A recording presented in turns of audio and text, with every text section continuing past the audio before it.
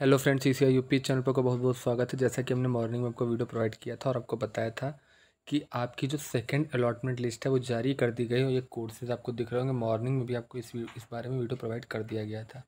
लगातार हमसे बच्चे पूछ रहे थे कि सर, क्या बी की सेकेंड अलॉटमेंट लिस्ट जारी होगी? देखिए, अगर सीटें वेकेंट रहती, जो कि चांसेज हैं कि रहेंगी तो आपकी सेकेंड अलॉटमेंट लिस्ट जारी की जाएगी और जैसे ही आपका नाम आता है, अपनी सीट आप लॉक कर दीजिएगा। लास्ट टाइम भी यूनिवर्सिटी ने सेकेंड और थर्ड अलॉटमेंट सीट तक जारी की थी। और आपका एडमिशन पक्का हो जाएगा कैंपस में नहीं होगा तो कॉलेज में हंड्रेड परसेंट हो जाएगा, बिल्कुल निश्चिंत रहें।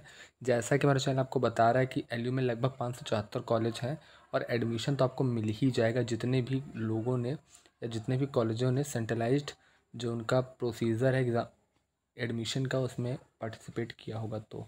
दूसरा सबसे बड़ा प्रश्न था कि, सर, क्या जो एग्ज़ाम होंगे वो एम की बेस्ड होंगे कि रिटर्न बेस्ड होंगे? देखिए चांसेस नाइन्टी परसेंट हैं कि आपके एग्ज़ाम एमसीयू की बेस्ड ही होंगे। और कारण हम बार बार आपको प्रीवियस वीडियो में बता चुके हैं तो आपका टाइम वेस्ट नहीं करेंगे।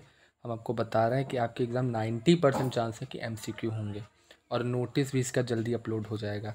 तीसरा डाउट ये था कि सर हम जिनकी बैक लगी है सिक्स सेमेस्टर में, जो आपको पता है थर्ड ईयर में होंगे, उनका सिक्स सेमेस्टर तो लास्ट ही होगा। तो जिनकी सिक्स सेमेस्टर बैक लगी तो उनका एग्ज़ाम क्या दो तीन, एक दो महीने में हो जाए, क्योंकि फॉर्म वॉर्म सबमिट करने के बाद एग्ज़ाम तुरंत कंडक्ट करा लिया जाएगा। या 2022 की बैच के साथ होगा। देखिए, यूनिवर्सिटी के लिए इतना तो पॉसिबल नहीं कि बार बार एग्ज़ाम करें, क्योंकि आपको पता अक्टूबर लगभग हो चुका है। नवंबर, दिसंबर, जनवरी में आपको पता है थर्ड सेमेस्टर के एग्ज़ाम भी होंगे फ़र्स्ट सेमेस्टर के एग्ज़ाम होंगे। उसी के साथ पूरे पूरे चांसेस हैं कि जो बैक पेपर है, उसी के साथ कंडक्ट करा लिया जाए। तो आप बिल्कुल निश्चिंत रहें। ऐसे ही चांसेस नाइन्टी परसेंट चांस तो यही है कि बैक पेपर के एग्ज़ाम आपके जो फ़र्स्ट और थर्ड सेमेस्टर के बच्चे होंगे, उनके साथ ही कंडक्ट करा लिया जाएगा। अब अगला प्रश्न ये है कि सर जो एमएससी के रिज़ल्ट हैं वो कब तक आएँगे? देखिए एमएससी के रिज़ल्ट ऑन गोइंग है प्रोसेस और बहुत जल्दी आपके रिज़ल्ट आने वाले हैं। यूट्यूब पे जो आपका ई सी यू चैनल सबसे पहले आपको जानकारी दे रहा है ऑन प्रोसेस आपका प्रोसीजर है, बहुत जल्दी रिज़ल्ट आने वाले हैं, निश्चिंत रहें आप रिज़ल्ट आने वाले हैं। आपको पता है एलयू अन्य जितनी भी प्रदेश भर की यूनिवर्सिटी हैं, सबसे आगे है, वो हर काम सबसे फॉरवर्ड में करती है और सबसे आगे रहती है। यहाँ पे कोई ढिलाई नहीं होती है।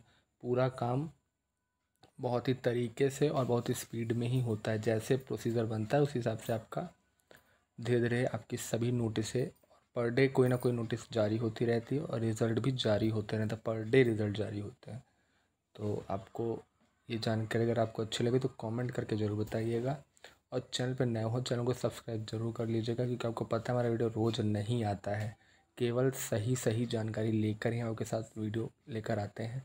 तो आपका ये फ़र्ज़ बनता है कि इस वीडियो को शेयर किया करिए। जितना आप शेयर करेंगे, जितना आप इस वीडियो को शेयर करेंगे, उतने लोगों को पता चलेगा और उन लोगों के पास अवेयरनेस आएगी। और वो जो यूट्यूब पे अन्य चैनल हैं, जिनके पास ज़्यादा कोई ऑथेंटिक न्यूज़ नहीं होती है, उनसे बचेंगे। सही न्यूज़ हर जगह फैलाया करिए और चैनल पर नए हो चैनल को सब्सक्राइब ज़रूर कर लीजिएगा। ये रहा हमारा आज का वीडियो। पूरा वीडियो सुनने के लिए बहुत बहुत धन्यवाद।